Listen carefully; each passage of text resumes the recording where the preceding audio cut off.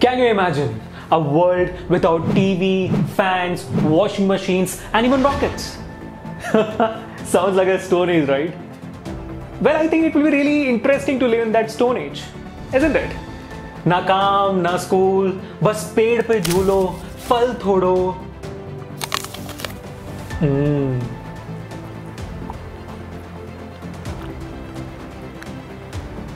ए ये आगे बढ़ना ओह सॉरी तो कहाँ थे हम हाँ world without TVs fans washing machines and rockets Can you name that one thing which is common in all these devices?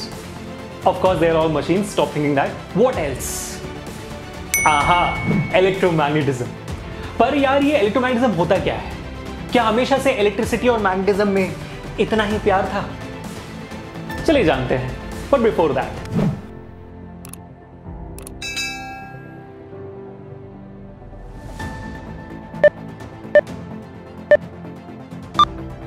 Once upon a time, long, long ago, in 1820, exactly 200 साल पहले की बात है There lived a famous scientist called Hans Christian Ørsted, जिसको हम प्यार से हंसू भी कहते थे जस्ट किडिंग सो हंसू एक दिन अपने लैब में अपने खिलौने के साथ खेल रहा था circuit board compass etcetera etcetera ठीक है लेकिन मज़ा तब आया when suddenly he turned on the circuit and he noticed कि टेबल पे रखा हुआ कंपस अचानक से डांस करने लगा और ऐसा सा डांस नहीं, तबाही वाला डांस करने लगा।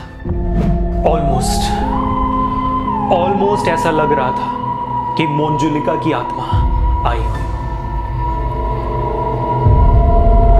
अरे पॉसिबल 1820 है यार। चुड़ैल धरती डिस्को कर सकता? बिल्कुल डेफिनेटली पॉसिबल लेकिन हंसू किसी से कम नहीं था।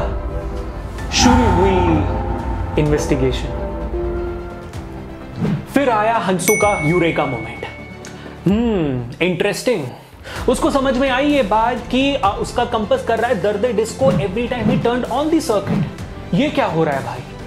Hansu the man of science realize कि कंपस का नीडल है मैग्नेटिक तो या तो उसे अपने हाथों से हिलाओ या तो वो किसी मैग्नेटिक इफ़ेक्ट के वजह से हो रही होगी move then he understood the electric circuit when he turned it on उस इलेक्ट्रिक करंट के फ्लो के वजह से एक मैग्नेटिक इफ़ेक्ट क्रिएट हुआ है, जिसके इन्फ्लुएंस में आके उसकी मैग्नेटिक कंपस हिल रही है.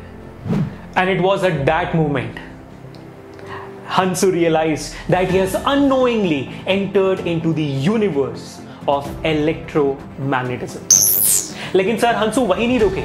He did not only prove that the magnetic effect created entirely dependent upon the electric current, but also the magnetic strength of the magnetic effect entirely dependent upon the magnitude of the current flowing in the circuit. Arthat, जितना ज़्यादा strong होगा electric current उतना ही ज़्यादा उसका magnetic effect होगा। And जितना lower होगा उसका मैग्नीट्यूड इलेक्ट्रिक करंट का, उतना ही मैग्नेटिक इफ़ेक्ट का स्ट्रेंथ कम होगा।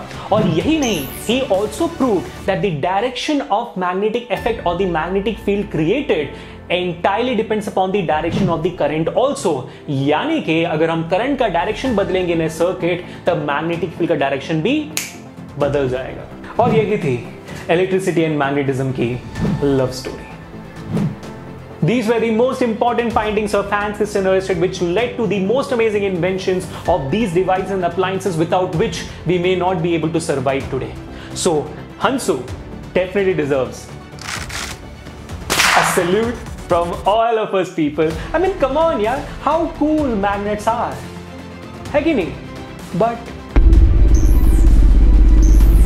magnets magnetic magnets में ऐसा क्या होता है कि वो चीज़ें को अट्रैक्ट रिपल करते हैं सोचा कभी सोचा नहीं तो सोचो अभी well that's for the second episode of sci-fi until the next one people peace